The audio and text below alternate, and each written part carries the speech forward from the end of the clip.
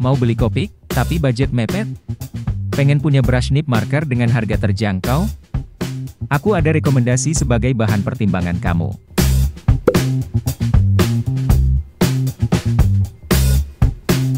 Halo semua, Assalamualaikum. Hari ini kita akan unboxing amunisi baru, New Marker.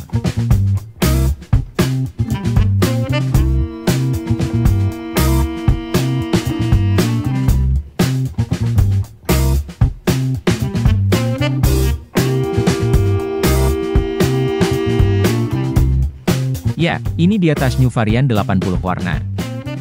Mari kita buka.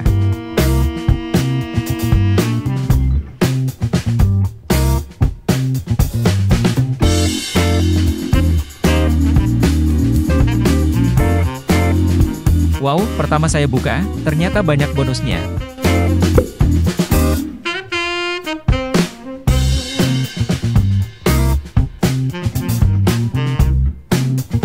Ada white pen.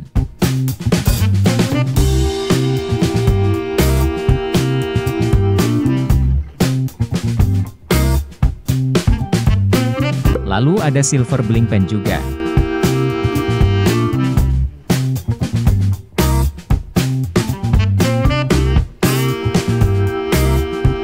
Selanjutnya kita dapat black marker merek Awa.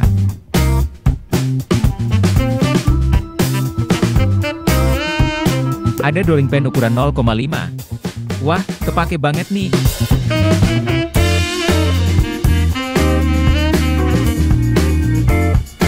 Terakhir, kita dapat gold bling pen merek Touch New juga.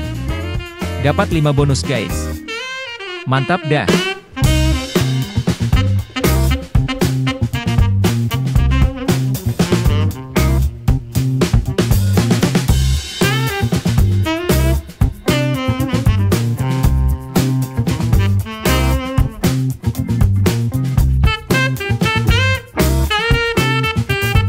Ini dia new alcohol marker. Di ujung tutupnya, ada kode dan nama warna marker. Dan tas new marker ini, punya dua ujung tip yang berbeda. Dengan ujung broad nib, lalu satunya dengan ujung brush nib. Ini salah satu alasan kenapa saya beli tas new karena punya brush nib guys. Banyak alkohol marker lainnya yang lebih murah, tapi dengan fine nib. Tetapi sesuai selera masing-masing ya. Kalau saya pribadi lebih suka dengan brush nib, karena lebih nyaman saat dipakai dibanding fine nib yang cenderung lebih keras.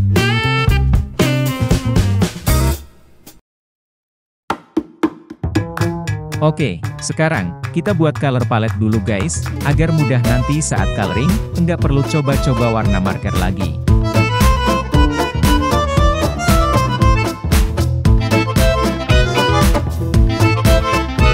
Kenapa color palette sangat penting? Karena warna marker akan sedikit berubah setelah kering guys. Jadi, jangan sampai salah perhitungan ya.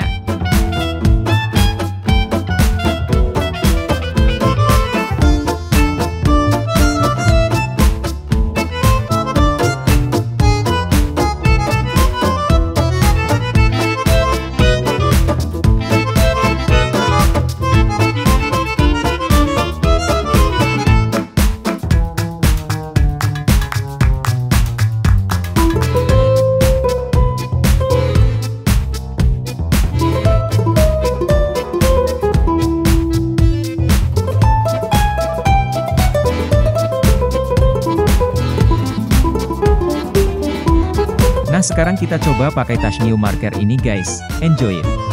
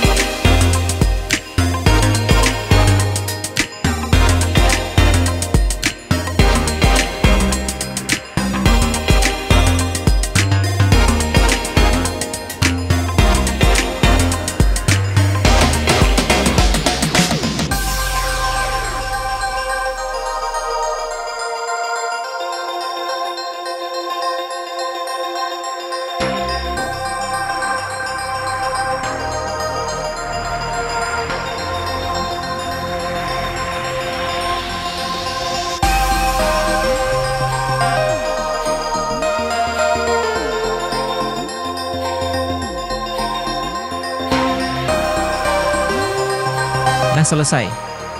Menurut saya, bagus ya hasil warnanya. Hasil blending juga baik. Tas new marker ini saya beli seharga 600 ribuan di marketplace Indonesia. Tapi ternyata pengiriman dari Cina loh. Wah mungkin harga aslinya enggak sampai segitu ya. Bisa tujuh kali lebih murah dibanding Copic marker yang harganya sampai 5 jutaan untuk varian 72 warna. Gimana menurut kalian tas new marker ini guys? Worth it apa enggak? Atau kalian punya rekomendasi marker lain? Komen di bawah ya, biar yang lain juga tahu. Sampai di sini dulu video kali ini, jangan lupa subscribe, like, komen dan share. Terima kasih banyak. Wassalamualaikum.